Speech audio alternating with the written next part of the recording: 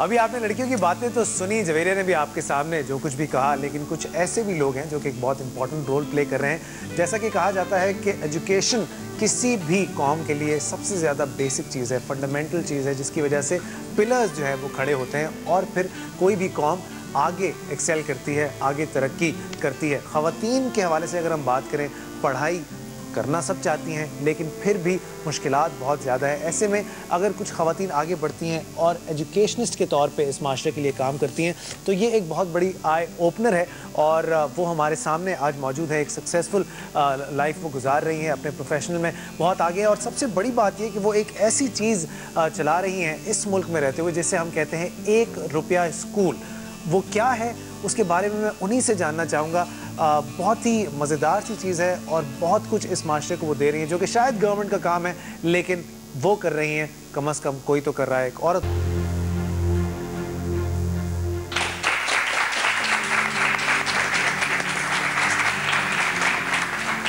अब क्या कहें ये कहाँ से आइडिया आया आपको और क्यों मूड हुआ पाकिस्तान के लिए कुछ करने का? देखें ये तो हर वक्त जो जो आदमी खुद पढ़ लिख जाता है वो ये तो महसूस करता है कि सबको पढ़ना चाहिए। बिल्कुल। और ख़ास तौर पे औरतें अगर हम खातन हैं तो हम तो सारे बच्चों को पढ़े लिखे देखना चाहती है ना। ठीक है। तो वो तो ख्वाहिश है।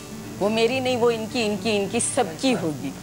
लेकिन कोई हिम्मत करके थोड़ा सा कर भी ले कंट्रीब्यूशन कर ले उस पर मैंने थोड़ा सा कदम उठा लिया। मसलन एक बच्चे को मैंने इंटरव्यू किया कि तुम क्यों भीख मांग रहे हो? उसने कहा कि अगर हम पैसे नहीं लेके जाएँगे मैंने कहा तुम स्कूल क्यों नहीं जाते हो? और भीख मांग रहे हो इससे तुम पैसे नहीं मिलेंगे। हाँ तो पैसे नहीं मिलेंगे तो हम घर कैसे चलेगा और ये सारी और पढ़ाई तो हमें नहीं करनी है। तो मैंने कहा अच्छा इसका मतलब है कि पैसों का प्रॉब्लम होता है फ़ीस कहाँ से देंगे? ये सब है। तो अगर कम फ़ीस हो और स्कूल बनाया जाए तो जो लोग पढ़ाना चाहते हैं अपने बच्चों को खाना तो दे रहे हैं लेकिन फ़ीस नहीं दे सकते। ठीक है। तो उनके लिए अगर ऐसा स्कूल बना दिया जाए जिसमें कि फ़ीस कम हो तो कम से कम कुछ लोग तो पढ़ ही जाएँगे। क्या बात। जब वो स्कूल खोला गया तो मुझे ये महसूस हुआ कि बच्चों को ज़रूरी नहीं है कि हम सिर्फ़ डॉक्टर इंजीनियर और उस पर बनाएँ। जी। हमारे यहाँ हुनर की इतनी ज़्यादा ज़रूरत है। हर लेवल पे ज़रूरत होती है। तो मैंने एक आइडिया उसमें फ्लोट किया था स्कूल में कि जब तक जिन बच्चों को सिर्फ़ पढ़ने का शौक नहीं है जी। वो तो काम सीखें लेकिन थोड़ा पढ़ भी लें। जी। लेकिन जो पढ़ना चाहते हैं वो फिर मैट्रिक करें और उसके बाद क्या आगे। क्या बात। उसमें फिर हमने फोर डायमेंशनल स्कूल बनाया है। जी। एक तो ये है कि एक रुपया महीना फ़ीस है। ठीक है। कम फ़ीस पे आप पढ़ें और साथ हुनर भी सीखें जिसको हुनर में आगे जाना है वो हुनर में आगे चला जाए चीज़ को फॉलो करना ठीक है। और जिसे पढ़ना है वो मैट्रिक के बाद कॉलेज में एडमिशन ले और पढ़ाई करें। दूसरा डायमेंशन ये है कि हमारे यहाँ बारह साल का बच्चा पंद्रह साल का बच्चा वो माँ बाप पढ़ाना चाह रहे हैं लेकिन मकान शिफ्ट हुआ या नौकरी शिफ्ट हुई तो उनके बच्चों को वो पढ़ा नहीं सके और उम्र बढ़ गई। कोई स्कूल उन्हें दाखिल नहीं करता। सही। तो हमने अपने स्कूल में दाखिल किया और एक तेज़ रफ्त के नाम से अलग डायमेंशन बना दी ठीक है। और वो एक साल में दो जमाते करते हैं ओके। और तीन साल में वो रेगुलर क्लासेस उनके साथ आगे क्या बात।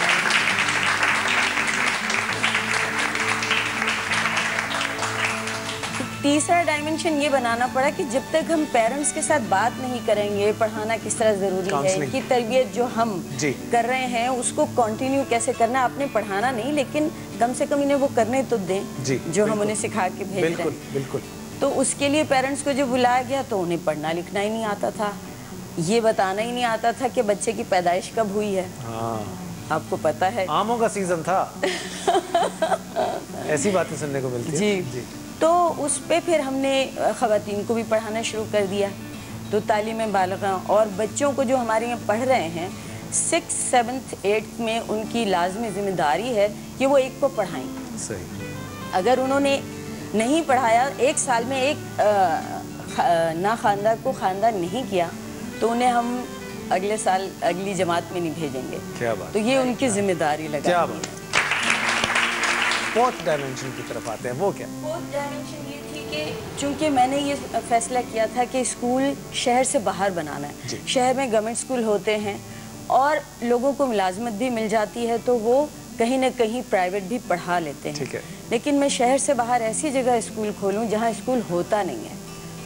तो जब दूर स्कूल खोला तो वहाँ टीचर्स को भी तो इक्विप करना था ना। बिल्कुल। कि वहीं पे और मैंने इसका तरीका भी यही रखा था कि मुझे वहीं की लड़कियाँ लेनी है उन्हीं को ही तालीम दिलवानी है उन्हीं से स्कूल खुलवाना है ताकि वो इलाका ट्रांसपोर्ट का इशू जो है वो खत्म बिल्कुल। नहीं ट्रांसपोर्ट का नहीं।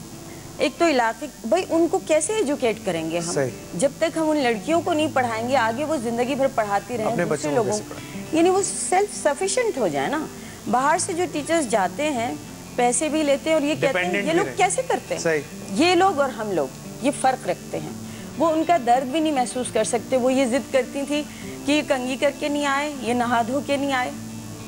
मैं कहती थी कि वो नहाए धोए नहीं उनके पास वाटर टैंकर खरीदने के पैसे नहीं हैं। वो ये पढ़ जाए इनकी उम्र ना ज़ाया हो जाए। बिल्कुल। तो उन्हीं बच्चियों को ऑन जॉब रखा और उनको पढ़ने का लोन दिया ऑन जॉब पढ़ाया। यानी सुबह अगर वो कॉलेज जा रही हैं तो शाम में स्कूल में पढ़ा रही हैं या शाम में स्कूल में पढ़ा रही हैं तो सुबह आपने बाकी काम हाँ। तो उस पे इस वक्त हमारे पास जो है पिछले साल हमने पाँच लड़कियों को ग्रेजुएशन अवार्ड दिया है। क्या बात। ऑन जॉब अब मैं आपका शुक्रिया अदा करना चाहूँगा पूरे पाकिस्तान की तरफ़ से और हमारी हुकूमत की भी तरफ़ से मैं कर ही देता हूँ क्योंकि किया नहीं हुआ अभी तक। तो बड़ी बड़ी मेहरबानी आपकी कि आप इस मुल्क के लिए कुछ कर रही हैं।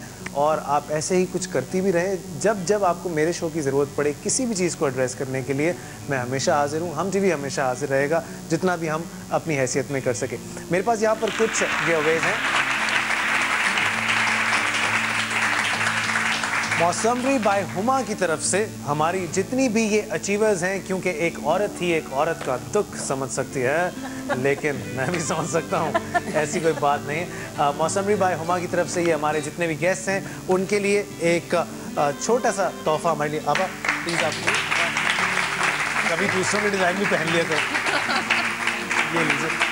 सबक दिस इज़ फॉर यू और जब तक कि हम ये मज़ेदार सी चीज़ कर रहे हैं, मैं आपको इनकी कलेक्शन के हवाले से एक छोटा सा मोन्टाज भी दिखा चलूँ, ताकि आपको पता चले कि हुमा, क्या बहुत बहुत मज़ा आया आज इतनी सारी खातन को झेल कर और उनके साथ बहुत सारी बातें भी हुई, लेकिन कुछ खातन जिनसे बात नहीं हो पाई अभी तक, जो कि हमारा शो देखती हैं, हमारे शो पे आज यहाँ पर आई भी हैं। मैं एक एक करके आप सबसे बात करना चाहूँगा। आप सबसे पहले आपसे शुरू करूँगा। ऑन द टॉप बिल्कुल, जी जी जी। इधर इधर इधर इधर। आपके पास भी आऊँगा डोंट वरी क्या करेगी ज़िंदगी में आगे?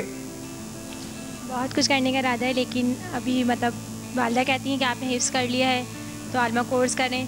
और इसके अलावा दूसरे बच्चों को तालीम दें। जैसे जो बहुत सारे लोग ऐसे हैं कि उनको यही नहीं पता है कि कुरान पाक क्या है या जो मतलब आम तालीम है जैसे हम स्कूल वगैरह पढ़ते हैं किसी के बारे में कुछ भी नहीं पता है। बिल्कुल। कोशिश यही कि जिन लोगों को नहीं पता है उन लोग कुरान पाक की तालीम भी दें और बिल्कुल भी बिल्कुल बिल्कुल। और ये तालीम सबसे ज़्यादा ज़रूरी है और अगर आप हाफिज़ कुरान हैं तो अब आप पर ये आपका फ़र्ज़ भी बनता है कि आप कुरान की तालीम को सही तरीके से लोगों तक पहुँचाएँ, क्योंकि ये बहुत बड़ी रिस्पॉन्सिबिलिटी है आप पे, क्योंकि बहुत सारे लोगों को बिल्कुल नहीं पता और हम लोग सुनी सुनाई बातों पर, हम जैसे जो नाकिस इल्म रखने वाले लोग हैं जो कि खैर शोज़ भी करते हैं आजकल बट एनी एनीवे कहने का मकसद ये है कि अगर कोई गलत बात सुने तो उसे एड्रेस ज़रूर करें और उसकी बेहतरी के लिए ज़रूर बात करें। आपकी तरफ़ आएँगे जी, क्या करना चाहती हैं ज़िंदगी में? बहुत कुछ बनना चाहते हैं और जो भी बनना चाहते हैं अम्मी अब्बू की दुआओं के भरोसे ही बनना चाहते हैं। अम्मू अब्बू तो दुआएँ करते ही रहेंगे। वो जो आजकल मोबाइल छीनने आते हैं उनको भी अम्मी अबू दुआएँ करते हैं। है ना? तो क्या बनना क्या है ज़िंदगी में? मुझे डॉक्टर बनना है। मैं दुल्हन बनूँगी बड़ी होकर। नहीं मैं है ना? वो तो है ही वो तो है ही। अच्छा इतने सारे अचीवर्स आपके सामने बैठे हुए इनको देख के कुछ दिल चाह रहा है कि काश मैं तबस्सुम होती या डॉक्टर रफीना होती या डॉक्टर शाइस्ता होती या इस, इनकी तरह स्कूल बनाती परिन आपा की तरह या सबा की तरह। ओहो कमाल है? जी बिल्कुल दिल में जोश है कि बिल्कुल इन्हीं की तरह बने हम भी आगे जाके। क्या बात है अच्छी रट के आई हो तुम लाइन। आगे बढ़ते जी आपकी तरफ़। सोच लिया होगा इतनी देर में तो नहीं सोचा तो कुछ भी नहीं है। क्या? सोचा तो कुछ भी नहीं है। फिर भी कुछ तो जहन में होगा कि आगे बढ़ के मैंने कुछ करना है ज़िंदगी में। जी बहुत कुछ करना है और कर भी रही हूँ मैं। मैं भी कुरान की तालीम दे रही हूँ बच्चों को। और स्कूल में भी पढ़ा जी अम्मी अब्बू की दुआओं से और भी बच्चों को तालीम देनी है आगे। बिल्कुल बहुत ज़बरदस्त बहुत ही अच्छी बात की आपने। सबको बहुत बहुत शुक्रिया अदा करूँगा आप सबका कि आप सब लोग यहाँ पर आए। और मैं उम्मीद करता हूँ कि आप इसी तरह पाकिस्तान का नाम रोशन करते रहें और अच्छे अच्छे काम करते रहें और आप मुझे बहुत गुस्से से देख रहे हैं, डॉक्टर अमीना, खैरियत से।